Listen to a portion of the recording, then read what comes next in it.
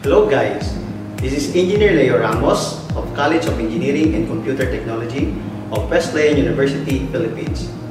Today, we're going to discuss a series of communication systems, laboratories, and experiments.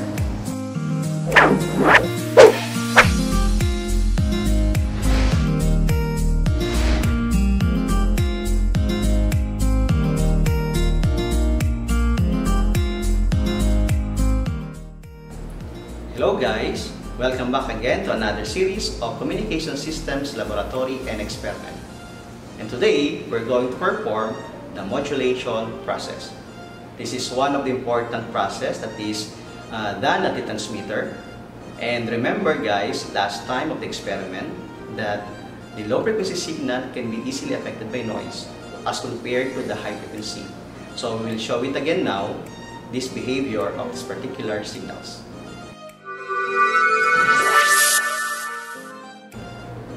To perform this experiment, this is the typical setup. So you need again a calibrated oscilloscope and our De Lorenzo module, the analog signal transmission modules. As you can see here, we're going to use our three modules in De Lorenzo analog signal transmission system.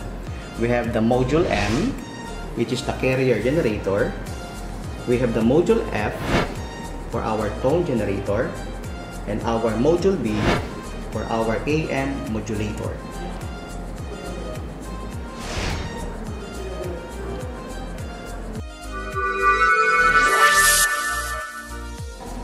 Connect the circuit as shown.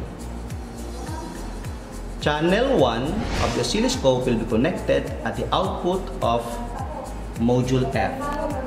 Channel 2 of our oscilloscope will be connected at the output of module B.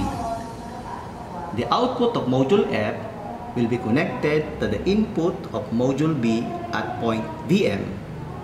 And the output of module M will be connected to the input of module B PC.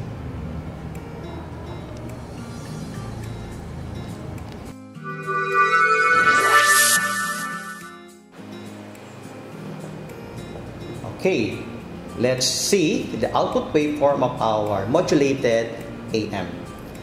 We need to power on our De Lorenzo trainer and you should expect that the output waveform will be shown at the oscilloscope. Okay, so that is your amplitude modulated signals. Okay, so to clearly view the waveform, let us pause our signals using this run stop button on the oscilloscope. Okay, so that is our AM envelope. As you can see here that our carrier frequency retains its frequency but our amplitude, uh, the amplitude of our modulating signal or the low frequency is now uh, at the carrier. So the amplitude of our modulated wave will be dependent now on the amplitude of your modulating signal. Having the carrier frequency oh will be God. the same.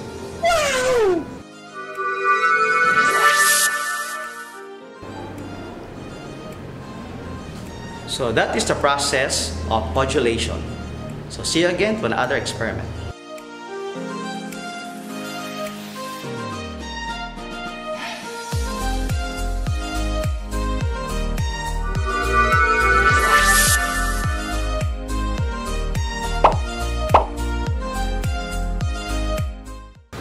For more educational videos regarding communication system, please like, subscribe, and share this channel.